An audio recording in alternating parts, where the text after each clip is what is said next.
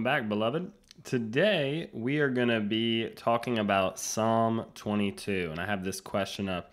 Is Psalm 22 talking about Jesus? Uh, this is a very important messianic prophecy written uh, by King David, uh, most likely about a thousand years before Christ was even born. And we know that Jesus is the Word made flesh, and he came to fulfill the Word of God, fulfill Scripture. Um, and so, unfortunately, I hate to say it to my Jewish friends yes, Psalm 22 is clearly talking about Jesus. So I am sorry, both Hebrews and Shebrews. This is just something that we have to accept. Uh, that being said, I'm going to get right into it and let's break this down verse by verse. So it starts out really clearly. Jesus says, uh, I apologize. This is Psalm 22. This isn't even Jesus speaking yet, right? Or it is through the Holy Spirit, right? Uh, David's words, "My God, my God, why have you forsaken me? Question mark. Why are you so far from helping me and from the words of my groaning? Oh my God, I cry in the daytime, but you do not hear, and in the night season, and am not silent. So going back to my God, my God, why have you forsaken me? Fast forward about a thousand years, Matthew 27 46, about the ninth hour of his crucifixion, Jesus cried out, Eli, Eli, Lama Sabachthani, which is, my God, my God, why have you forsaken me? Right? So it starts out really clear there. Uh, moving on, Psalm 22, verses 3 to 5. The psalmist goes on to praise God. He says, You are holy, enthroned in the praises of Israel. Our fathers trusted in you. They trusted and you delivered them. They cried to you and were delivered. They trusted in you and were not ashamed. He goes on to say, and this is where I think it's clearly talking about Jesus, but I am a worm and no man, a worm and no man, a reproach of men and despised by the people.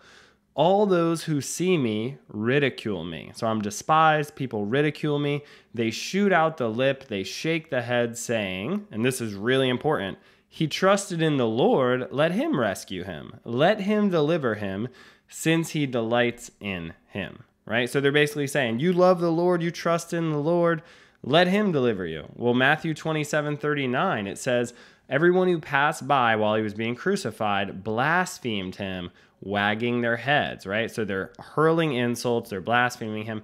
But then this is what they say in verse 43 He trusted in God, let him deliver him now, if he will have him. For he said, I'm the Son of God. It's the same as in Psalms. It's he trusted in God, the Lord delights in him, right? Let's see if he'll deliver him, right? Going back to Psalm 22, we're going to fast forward to verse 12. Uh, it, the psalmist says, Many bulls have surrounded me. Strong bulls of Bashan have encircled me. Whenever we're talking about bulls of Bashan, it usually has a negative connotation in scripture. These are talking about people here. So many bulls have surrounded me. Strong bulls of Bashan have encircled me. They gape at me with their mouths like a raging and roaring lion. So this is like ravenous beasts surrounding him here. And let's look at what Matthew records about Jesus. I believe this is what he's talking about. It says, The soldiers of the governor, this is before he was crucified, they took Jesus into the praetorium. They gathered the whole garrison around him, dozens of men. Imagine this. They stripped him, they put a scarlet robe on him. Then they twisted the crown of thorns, they put it on his head, and a reed in his right hand. They're mocking him. They bowed the knee him. Uh, I'm sorry, they bowed the knee before him and they mocked him. They they casting jokes at him saying, Hail, King of the Jews. Then they spit on him, and they took the reed and struck him on the head. And when they had mocked him, they took the robe off him, put his own clothes on him, and led him away to be crucified. So read those words again after knowing that. Many bulls have surrounded me, strong bulls have, of Bashan have encircled me. They gape at me with their mouths like a raging and roaring lion. Imagine a bunch of just, you know, rowdy soldiers all around. They don't know who Jesus is. They don't know he's the Son of God. They do not know that he is God in human flesh. And they do not know that he is dying for their sins, possibly, if they turn to him. Um, but I believe some of the Romans did turn to him, which is just So beautiful. Um, Psalm 22 14 then says, I am poured out like water and all my bones are out of joint. Now remember the past remember Jacob, his hip was out of joint, the Passover lamb, none of the bones could be broken from the Passover lamb. But I'm poured out like water. That's really important. All my bones are out of joint. My heart is like wax. It is melted within me. Look at John chapter 19. It says, The soldiers came and broke the legs of the first prisoner and then the other one who was crucified with Jesus, right? But when they came to Jesus and saw that he was already dead, they did not break his legs. But one of the soldiers pierced his side with a spear, and immediately blood and water came out. Remember Psalm 22 14? I'm poured out like water. His heart was like wax, it melted within him. Uh, John then goes on to write, He who has seen has testified, and his testimony is true. He knows that he is telling the truth so that you may believe. For these things were done that the scripture should be fulfilled. Not one of his bones shall be broken. And again, another scripture says, They shall look on him whom they pierced, right? We've pierced Jesus. The Jews, Romans, everybody's going to look on him. Revelation 1 7, he's coming on the clouds and everyone will see him, even they who pierced him. So that's so important. Psalm 22, 15, and 16, we're going to go on. It says, My strength is dried up like a potsherd, and my tongue clings to my jaws. You have brought me to the dust of death, right? Just picturing somebody thirsty and their tongue is just dried up in their mouth. They're, they're at the dust of death, right? For dogs have surrounded me. The congregation of the wicked has enclosed me. They pierced my hands and my feet. I'm not even going to go into they pierced my hands and my feet. We all know that's Jesus. There's other Hebrew interpretations that says like a lion, they're at my hands and my feet. If you want to get, you know, really technical there, but either way, his hands and his feet, we know they were pierced, right? Whether they were pierced like a lion, you know, tearing them apart or pierced by nails, doesn't really matter here. Um, but I want to talk about the specificity of Bible prophecy, the the hundreds of prophecies about Jesus and everything down to just the smallest ridiculous detail. So I want you to pay very close attention. It's my strength's dried up, right? That's important, but this is more important. My tongue clings to my jaws. He's thirsty. He's incredibly thirsty. You've brought me to the dust of death. Look at John 19, 28. It says, After this, this is while he's being crucified, Jesus, knowing that all things were now accomplished, that the scripture might be fulfilled, said, I thirst. You understand that? It's saying, so that the scripture might be fulfilled, Jesus literally said, I thirst. What scripture is he fulfilling? I think it's very clearly Psalm 22. There's another psalm, I believe it's 69, where it literally says, They've offered me vinegar and gall to drink. And that's exactly what they offered Jesus like a thousand years later. it's incredible. Uh, psalm 22, verses 17 and 18 now, it says, I can count all my bones. Not a bone of Jesus was broken because Jesus was our Passover lamb, okay? The Passover lamb, when that was instituted, none of its bones could be broken. So it's I can count all my bones. They look and stare at me. They and this is so specific. They divide my garments among them, and for my clothing they cast lots. Every single gospel pretty much records that story, right? They divide my garments among them, and for my clothing they cast lots. Luke 23 34. Then Jesus said, Father, forgive them. They do not know what they do. And they divided his garments and cast lots. I mean, that's incredible. He's saying, forgive them. They don't know what they do. They had no idea they're fulfilling scripture. Uh, you know, God gave them over to where they couldn't see it. However, God sovereignly ordained this. But they were literally, there was a true, literal person that actually divided the garments of our Lord Jesus Christ and cast lots. And they had no idea what they were doing. Uh, going on, Psalm 22, verse 19 to 22, uh, the psalmist then says, You, O Lord, do not be far from me, O my strength. Hasten to help me. Deliver me from the sword, my precious life from the power of the dog. Save me from the lion's mouth and from the horns of the wild oxen. Okay, that sounds a lot like death. He's saying, Save me, deliver me, don't be far from me, right? Deliver, it says right here, my precious life. That's what he's praying to be delivered. And then look at this You have answered me. I believe that's clearly foreshadowing the resurrection. He's praying for his precious life. We know Jesus Christ was resurrected, right? I, and then it says, I will declare your name to my brethren. In the midst of the assembly, I will praise you. Uh, Paul, you know, a thousand years later, Paul wrote in Hebrews 2, verse 12, uh, I will declare your name to my brethren. In the midst of the assembly, I will sing praise to you. So I'm not making this up. Psalm 22, going on, verses 23 and 24. Then it says, You who fear the Lord, praise him.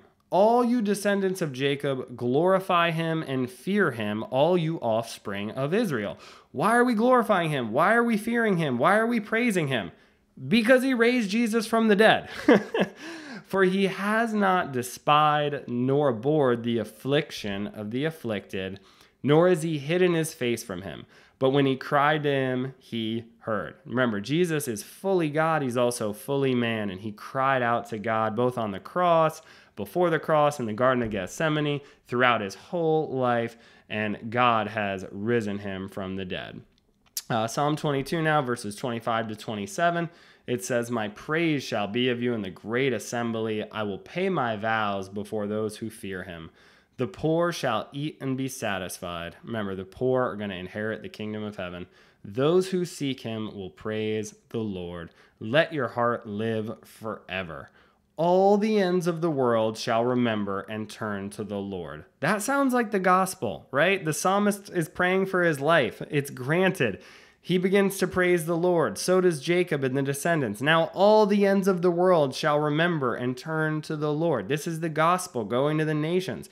All the families of the nations shall worship before you. He then goes on to say, For the kingdom is the Lord's, and he rules over all the nations. All the prosperous of the earth shall eat and worship, all those who go down to the dust, all those who die, right? shall bow before him, even he who cannot keep himself alive. Though uh, Jesus Christ, he is Lord of heaven, he is Lord of earth, and like it or not, he's even the Lord of hell. It, everyone, every single human being in all of creation and all of time, everyone will bow the knee before him, regardless of where they end up for eternity. We will all bow to Jesus. He then goes on to say, verse 30, a posterity, a seed shall serve him. It will be recounted of the Lord to the next generation.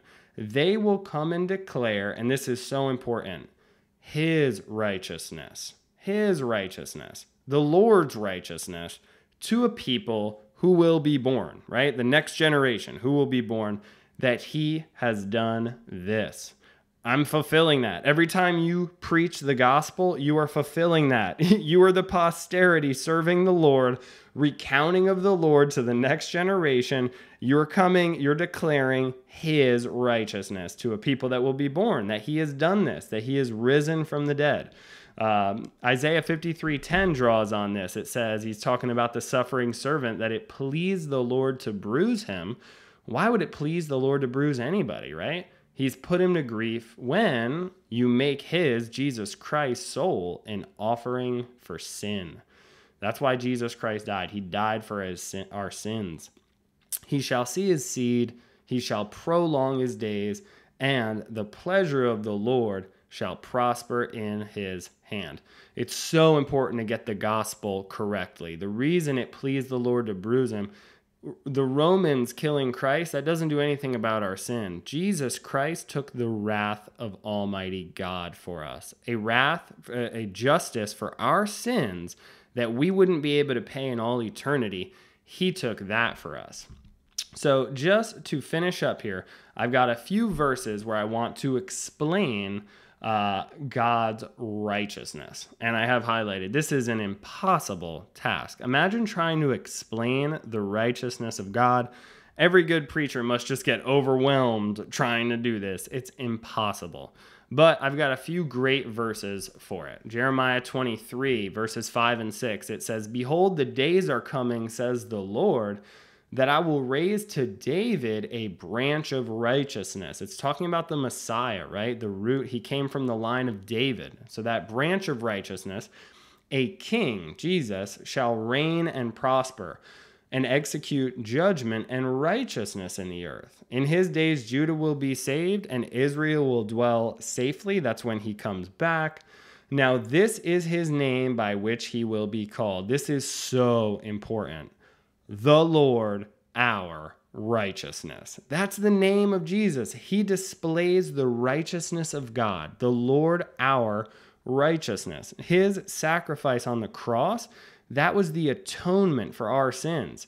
But his perfect life, the fact that he lived life perfectly, he never sinned, every good deed he did, all of that is fulfilling. When he was baptized, he said, I did this to fulfill all righteousness. He literally kept the law for us. When we come to him, when we repent of our sins and we believe in him, we get his righteousness. That's incredible.